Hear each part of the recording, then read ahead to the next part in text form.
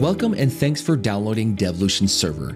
To help you get started, let's take a quick tour of the web interface so you can familiarize yourself with your new solution. When you first access your Devolutions server, you'll be brought to the main dashboard area. This is your control center, which will display information about your vaults and entries along with their contents. Right now, we're in the Windjammer default vault, with widgets in the dashboard summarizing various vault data. Widgets can be customized by your viewing preference by selecting the Customize Widget button. Also in the dashboard, you'll notice various tabs on the root of the vault, in folders, and in entries. These are perfect for storing notes in the documentation area or even adding attachments if necessary. You can see permissions and even logs, and if you're in an entry type, you can see the history as well. Moving into the top right corner, you'll find quick access to recent notifications, as well as the messaging system. This allows you to send secure data and entries to fellow Devolutions server users, or even send secure messages to folks outside your organization using our free product Devolutions Send, which is built right in. Now next to that, you'll see your initials or a gravatar image. Clicking here gives you access to your account properties and information, here, you'll also find quick links to visit our forum as well as documentation. Above the dashboard is the search bar, which helps you locate entries across all the vaults you have access to. If you want, you can refine your search by using the gear icon for additional parameters. Or you can dive even deeper using the advanced search. Right next to the dashboard, you'll find the Vault Contents pane, where entries like credentials, privilege accounts, sessions, folders, and other IT resources are stored. Adding new entries is a breeze. Just click the plus icon to get started. Here you'll see a wide variety of entry types that can be natively created in the web interface. If you have editing capabilities, you can simply modify entries using the pencil icon. Additional properties can be found by toggling the advanced switch.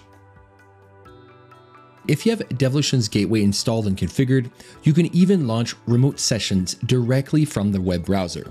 Let's open up an RDP session here. The remote session will open up in the dashboard area, giving you quick access to those endpoints on the fly. On the left hand side, you can see all of the active sessions under the sessions drop down tab. You can end specific sessions or you can end all of them at the same time. Continuing on the left, we see the shared vaults section. These are all the vaults that you have access to. They can contain credentials, remote sessions, IT resources, and sensitive data for you and your team to use. Organizations normally separate vaults by department, user role, or even by customer.